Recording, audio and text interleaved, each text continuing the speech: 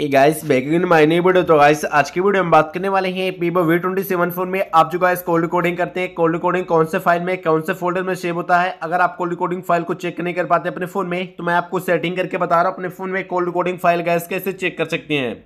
आप call recording जब guys करेंगे और करने के बाद आप जब कॉल रिकॉर्डिंग कर देते हैं, उसको सुनना होता है या फिर किसी के पास भेजना होता है, ना ही कॉल रिकॉर्डिंग को आप सुन पाते हैं, ना ही किसी के पास आप भेज पाते हैं, ठीक है?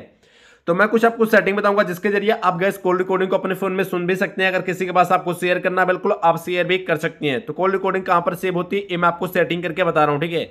पहले आपको करना है कि अपने फ़ोन में फ़ाइल मैनेजर गैस ओपन कर लेना है। फ़ाइल मैनेजर ओपन करेंगे। मेन स्टोरेज का ऑप्शन है, यहाँ पर गैस क्लिक कर लेना। नीचे स्क्रॉल डाउन करेंगे, आपको रिकॉर्डिंग का ऑप्शन मिलेगा। यहाँ पर क्लिक करके रिकॉर्ड पर क्लिक कर लेना कॉल पे क्लिक कर लेना, ठीक है?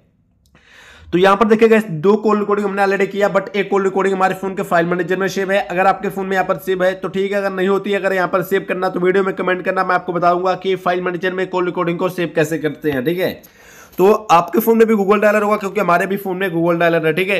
तो आप जो गैस कॉल रिकॉर्डिंग करते हैं, वो कॉल रिकॉर्डिंग आपके फ़ोन के बिल्कुल गैस डायलर में शो होती है। जैसे देखिए फ़र्स्ट वाला नंबर है, इस पर गैस हम क्लिक करेंगे, ठीक है? यहाँ पर रिकॉर्डर का ऑप्शन आएगा और यहाँ पर देखिए, चार सेकंड की हमने कैसा ऑलरेडी कॉल रिकॉर्डिंग किया है। इसको हम यहीं पे प्ले करके सुन सकते हैं। यहाँ पर देखिए, आपको शेयर का ऑप्शन मिलेगा। किसी के पास भेजना है नहीं शेयर करना है तो आप यहीं से शेयर कर सकते हैं और उसके राइट साइड में आपको डिलीट का ऑप्शन मिलेगा। अगर इसको आप यहीं से डिलीट करना चाहते हैं, बिल्कुल गैस आप डिलीट भी कर सकते हैं।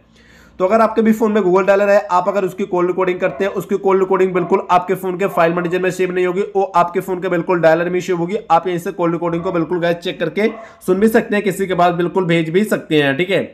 गाइस अगर आपको हमारी वीडियो पसंद आए, वीडियो को लाइक और गाइस चैनल को भी सब्सक्राइब कीजिएगा। तो गाइस मिलते हैं फिर एक नेक्स्ट वीडियो के साथ।